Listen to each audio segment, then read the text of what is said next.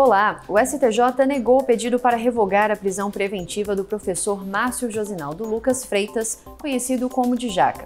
Ele foi preso por participar da ocultação de pertences de um dos investigados pelo assassinato da vereadora Marielle Franco e do motorista Anderson Gomes. O habeas corpus ainda vai ser analisado pelo STJ depois do recesso do Judiciário. E olha só, um torcedor do Fluminense que participou de briga com a torcida do Vasco, em que um homem acabou morto, vai continuar preso. O crime foi considerado de motivo torpe, consistente em vingança e ódio reprimido entre os torcedores. O STJ abriu prazo para a manifestação do Ministério Público Federal sobre o caso e depois ele deve seguir o trâmite processual no tribunal. Um homem preso em 2003, acusado de roubar um guarda-chuva, vai responder ao processo em liberdade até o julgamento definitivo do habeas corpus.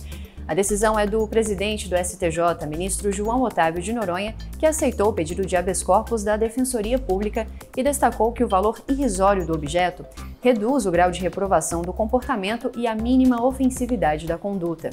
Você confere outras notícias no site do STJ e também nas nossas redes sociais. Até a próxima!